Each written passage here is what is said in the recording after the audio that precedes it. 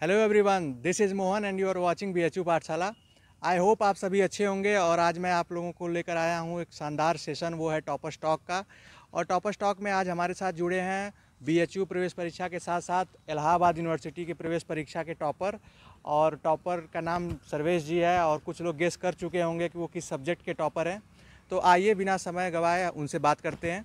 तो सर्वेश जी से पहले उनकी प्रारंभिक शिक्षा के बारे में बात करते हैं। जैसे कि हम लोग जनरली हाई स्कूल को ही प्रारंभिक शिक्षा मानते हैं जब इस स्तर पे आ जाते हैं।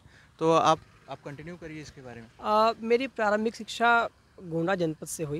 मैंने हाई स्कूल और इंटर वहीं से आ, पास किया है। उसके बाद ग्रेजुएशन के लिए मैं बनारस आ गया काशी हिंदू विश्वविद्यालय में। और अब परा स्नातक के लिए मैंने जैसा कि एंट्रेंस दिया है और तो अब एडमिशन भी हो। गया है तो अब यहीं पढ़ने का विचार है।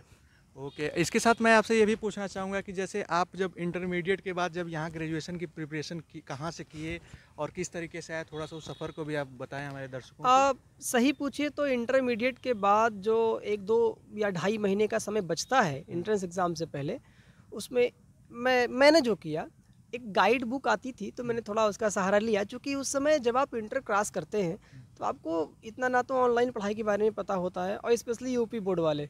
ऐसा नहीं होता जो मुझे नहीं था। ये हकीकत है कि मुझे पता नहीं था। तो एक गाइड बुक थी मेरे पास और कुछ टीचर्स का थोड़ा बहुत सहयोग था मेरे पीछे।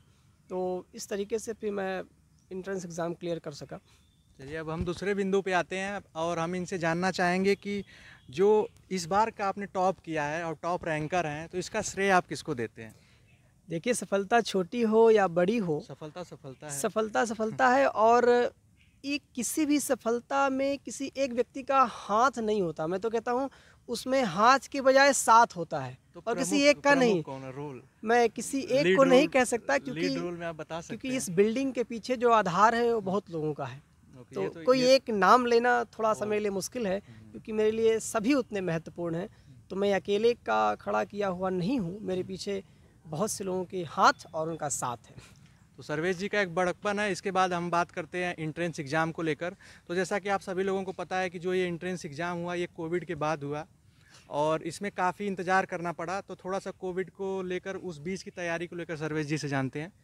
आप कोविड के दोनों पक्ष थे एक नकारात्मक भी और एक सकारात्मक भी। नकारात्मक पक्ष ये था कि विश्वविद्यालय से हम लोग दूर रहे और सकारात्मक पक्ष ये था कि घर पर रहे और उसके साथ साथ हमने देखा कि इस लॉकडाउन के दौरान ऑनलाइन स्टडी से जुड़ने का मौका ही मिला। क्योंकि इससे पहले इतनी अभिरुचि ऑनलाइन शिक्षा की तरफ़ नहीं थी। लेकिन एक मजबूरी भी आई हमारे पास कि और कोई रास्ता भी नहीं है और पढ़ भी नहीं सकते, कैसे ही पढ़ेंगे हम? तो ऑनलाइन एक सबसे बेहतर माध्यम बना और उस समय पढ़ाई का। और सही बात तो ये है कि एंट्रेंस में ऑनलाइन पढ़ाई का बहुत बड़ा योगदान है, व्यक्तिगत मेरे लिए। तो ऑनलाइन जो क्लासेज है उसके बारे में मैं आपसे ये जानना चाहूँगा। आप हमारे दर्शकों को बताइए जो 2021 की तैयारी के लिए यहाँ जुड़े हैं या वीडियोस देख रहे होंगे और आपके आपको हो सकता है वो फॉलो करें। तो उनके लिए क्या कहना चाहेंगे ऑनलाइन शिक्षा को लेकर ऑनलाइन कोर्सेज को लेकर जो हमारे या बीएचयू के छात्रों द्वारा चलाए जा रहे हैं? देखिए बहुत बढ़िया प्रयास है। आपका चैनल है एक दो चैनल और भी हैं तो बहुत अच्छा प्रयास कर रहे हैं। मैं तो यही कहूँगा कि पहले तो आप खुद नोट्स बनाइए पढ़िए। फिर उसके बाद आप ऑनलाइन स्टडी भी देखिए क्योंकि अब कुछ ट्रेंड बदल रहा है। और जो बदलता हुआ ट्रेंड है वो आपको ऑनलाइन शिक्षा से ही आएगा। फिर किताबों में छप कर आने में समय लगता है ट्रेंड को। लेकिन जो ऑनलाइन मीडियम है उसमें आप तुरंत उस ट्रेंडिंग को पकड़ लेते हैं क्या ट्रेंड कर रहा है। ये सर्वेश जी ने बहुत अच्छी बात कही और मैं बीच में रोकना इनको इसलिए इसलिए रोका हूँ। मैं आपको बता दूँ कि जो इन्होंने ट्रेंड की बात की आपको जैसे यहाँ पे कोई भी एक इवेंट होता है तो तुरंत हम अपडेट देते हैं within two hour three hour four hour वो अखबार में आपको आने में मिनिमम बारह घंटे लगते हैं। ठीक उसी प्रकार से जब यहाँ का कोई पैटर्न चेंज होता है तो उसको बुक को पब्लिश होने में फिर बुक को सर्कुलेट है कोई आपके द्वार पे आने में आपके हाथों में आने में हो सकता है छः महीना लग जाए। वो चीज़ें हम दो महीना में बताते हैं। तो आखिरी में सर्वेश जी आपसे बात करके काफ़ी अच्छा लगा और हमारी आपकी बातें आगे भी होती रहेंगी हमारे चैन- चैनल के माध्यम से।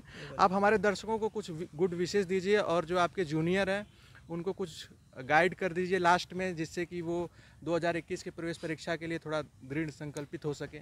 गाइड क्या करना है? मैं तो ये समझता हूँ जो हमसे एक कदम पीछे यानी जो हमारी पीछे की पीढ़ी है वो हमसे ज़्यादा बेहतर करना जानती है। ये तो हाँ ये ज़रूर है कि हम रास्ता दिखा देते हैं और आप देखिए कि अभी जो मेरे से पीछे आने वाले हैं वो बहुत बेहतर करने वाले हैं। मुझे पूरा विश्वास इस आश्वस्ति के साथ मैं कह सकता हूँ कि बहुत बेहतर करेंगे। मुझे पता है कि जो हमारी पीछे आने वाली नस्लें हमसे बहुत होशियार हैं। इसलिए गाइड करना मुझे पड़ेगा ही नहीं। मुझे कुछ नहीं कहना, बस शुभकामनाएँ कि वो अच्छा करें, बेहतर करें, मुझसे अच्छा करें, बस यही।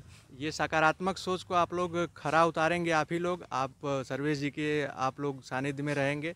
और भी किसी को कोई क्वेरीज हो तो प्लीज़ कमेंट बॉक्स में आप टाइप करें। हम आपको उसका आंसर देंगे, सर्वेश जी के माध्यम से आंसर मिलेगा। बाकी ढेर सारे हो सकता है क्वेरीज हो आपको बुक को लेकर क्वेरीज हो, सारी चीज़ें आपको नेक्स्ट वीडियो में मिलती रहेगी। तो आज के लिए इतना ही।